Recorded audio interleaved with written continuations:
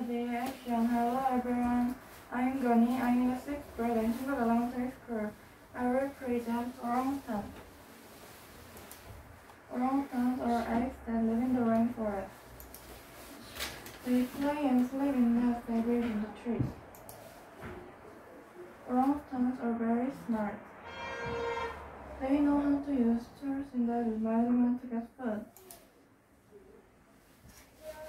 They use sticks to To find food, orangutans swing from branch to branch. They love to eat leaves, flowers, tree bark, and bugs. They are so smart they even know about plants to eat when they're sick. Orangutans are also caring parents. They spend eight years teaching their children how to survive. Unfortunately, orangutans are endangered.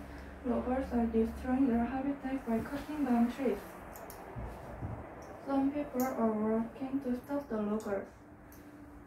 They want to make sure these amazing animals will be around forever.